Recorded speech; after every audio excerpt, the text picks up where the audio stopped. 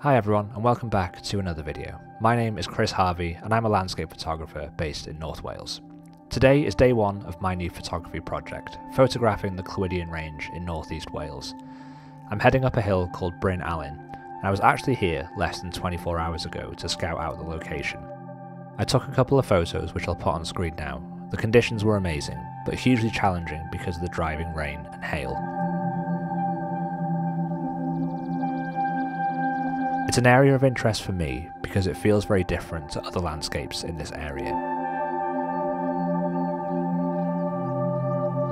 There are some limestone pavements that I want to explore, some lone trees, and these are two features of the landscape that are hard to find in many areas of this region.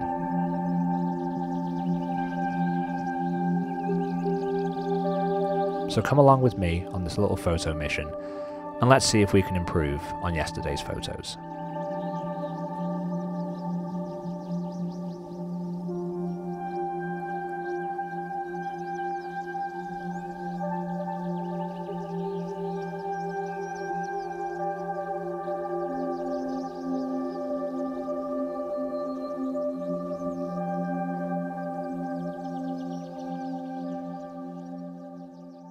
So apologies for any wind noise that you might hear in this clip. It's the reason why most of this video has been a voiceover, but I just wanted to talk briefly about this composition because this is exactly what I was hoping to find. It's the reason that I've come here. It's because of these limestone pavements that you can only really find in this one area of the Clwydian Range. It's very much kind of the antithesis of the rest of the landscape around here, which is just very green, very verdant, very undulating. It's just kind of quintessential British countryside. Um, but the limestone pavements aren't enough by themselves, but you can see behind me there's a lone tree that I think will make for a good subject. Um, the light is coming and going. We might not really get any light and the wind is making this so challenging, but it's great to be out. This isn't going to be the only time that I come here, so I'm not necessarily too worried about getting it right today, but it's a good scouting opportunity at least. Um, the one challenging thing about this composition is going to be the tree because I ideally would like to get the tree separated from the undulation of the hill so it kind of stands alone in the negative space of the sky. But I might not be able to necessarily get the sort of foreground how I want it and the tree how I want it. There might have to be a sacrifice. And um, well, I think the foreground is probably the most important thing, um, just because that's the thing that is most indicative of the landscape. And that's the thing that for this project I want to focus on for this one shot. That's an important thing about a project or a body of work is that sometimes you've got to be a little bit more I guess selective about the things that you focus on. It might not necessarily be the thing that makes for the greatest photo, but it could well be the thing that tells the strongest story or depicts the landscape in the most accurate way because um, there'll be other photos in this portfolio in this project that are, you know, those kind of quintessential landscape shots. But sometimes just having a few photos that can break things up and just show some of the details a little bit closer, I think they're always worth having. So let's see what we can get framed up. Um, and I'll put the image on screen. And sorry again for the wind noise and the fact that I'm covered in snot so I've got a couple of variations of this composition to show you. This one in portrait orientation and I'll show you a landscape version as well. But what I enjoyed about the portrait version is the real exaggeration that you get in the foreground. So this shot is basically 50% foreground because that is definitely the feature within the landscape that I wanted to highlight. And I liked how the limestone pavements, how the cracks between the stones acted as a kind of leading line pointing towards the lone tree.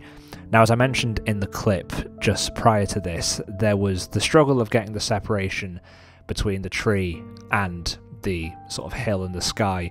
You can see that the kind of bottom of the tree is still within the kind of undulation of the hill. I couldn't get low enough to really get that separation to get the tree in the negative space of the sky. But I, I don't mind it too much because it's a sacrifice and a compromise that I just had to make. If I got down even lower, you wouldn't really get the full, um, I guess, geometry of the foreground. You wouldn't get those lines that are so long pointing up to the tree. Everything would be compressed and a bit shallower, which I don't think works as well. Um, I also really enjoyed the sky in this image. Um, there was some nice light starting to poke through, and those stormy clouds just added some nice atmosphere. If we move on to the landscape orientation shot, again, I do enjoy this one, but the light wasn't as nice for this particular version. But I do, again, like where the limestone pavement is positioned in this shot.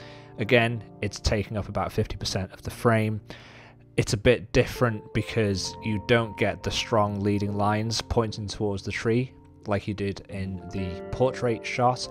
But in this one, you can see a little bit more of the landscape in the distance with the kind of rolling green hills, which are another aspect of the landscape of the Clwydian range, which is just very quintessential. And I think it acts as a bit of a juxtaposition because you have the rolling undulation of the green hills and the more rugged and textured landscape of the limestone pavements. So let me know which shot you prefer. Do you prefer the landscape or the portrait? I think the landscape one has potential, but the light needs to be different. Um, and I like the composition of the vertical orientation because I like those leading lines. But let me know in the comments below which you prefer.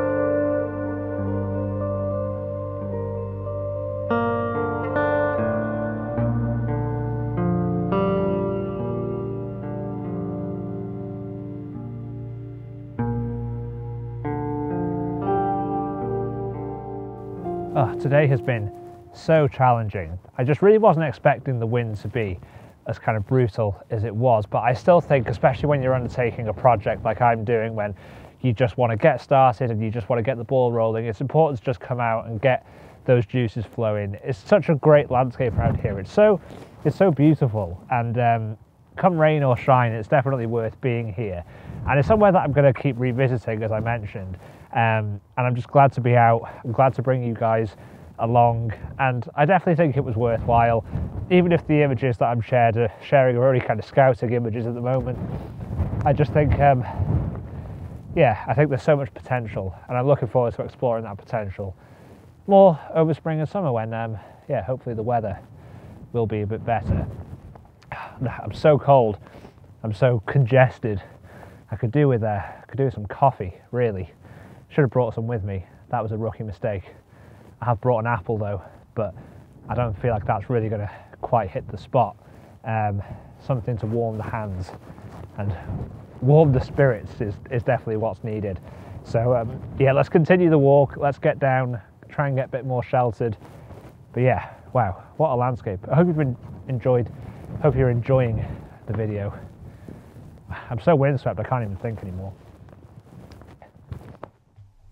So, guys, I bailed. The weather was just too brutal. I was too cold, so I've come home, had a coffee, changed into some dry clothes, and I'm feeling much better. So, I hope you enjoyed coming along on this little photography outing. I just want to wrap up this video by talking a little bit about this project and provide a little bit of advice and maybe a tip or two um, for you guys when it comes to photography.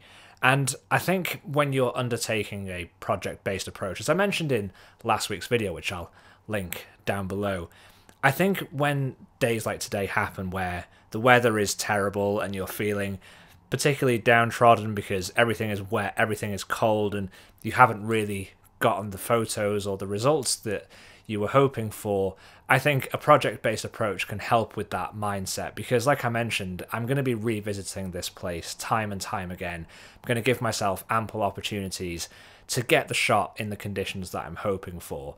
And, you know, by doing that, by revisiting, I'm getting to know the location better. I'm getting out into my local area and I'm documenting it and I'm kind of curating a, a little bit of a journal, I suppose, um, that I can look back on. That's what these videos are sort of acting as. It's a bit of a field notes, it's a bit of a journal of being in the field and seeing how conditions changed and what you know what it provided on that that given day um, and that's just something that i think is beneficial for all landscape photographers or any photographers is that persistence perseverance and patience i suppose the three p's of landscape photography um, it's important to be persistent to be persistent it's important to go back to these places you know, revisit locations and take the pressure off. You don't need to get the shot on your first visit. Now, granted, that's more difficult if you're traveling long distances, going on a trip, or you know going abroad.